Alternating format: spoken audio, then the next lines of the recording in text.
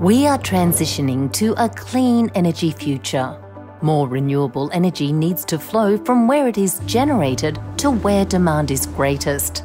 To help achieve this, Transgrid's Victoria to New South Wales Interconnector Upgrade project is using innovative technology that will let us integrate more energy to power an extra 30,000 homes from renewable generation, lowering greenhouse emissions, and with works contained to substations, lower environmental and community impact. Smart valves are a new innovative technology that manipulate the power flow and reduce constraints on the network. Spare capacity exists on every network. Um, by pushing power off overloaded lines and pulling it onto underutilised lines, Smart Valve moves power to where the spare capacity exists. By using Smart Wires' Smart Valve technology, we will unlock 170 megawatts of extra power, reducing network congestion, stabilising the grid and allowing more renewable energy to flow between Victoria, New South Wales and the ACT. So how does Smart Valve technology work?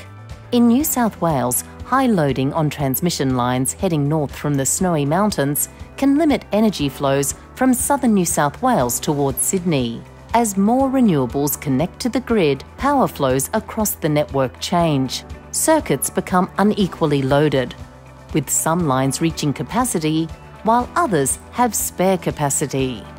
When one circuit reaches capacity, the network can't carry any more power, which in the past would mean curtailing renewables connecting to the grid. Now, Smart Valve technology installed on two lines pushes power off overloaded lines and pulls it onto lines with spare capacity. This removes the bottleneck, allowing more renewable generation to flow to where it's needed.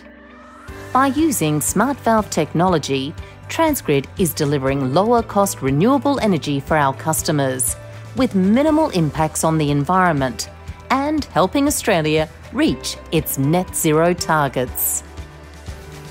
Using Smart Valve reduces the amount of linear infrastructure that utilities might need to build new or to reconductor. And it's a lower cost, more environmentally sensitive solution. Traditionally for a project like this to increase the uh, generation in this area or the power flow, uh, we would have to upgrade transmission lines or build new transmission lines. The use of smart valves means that we're not building more transmission lines or upgrading transmission lines, which is a great outcome for the environment. The Victoria to New South Wales Interconnector Upgrade Project will be completed in 2022.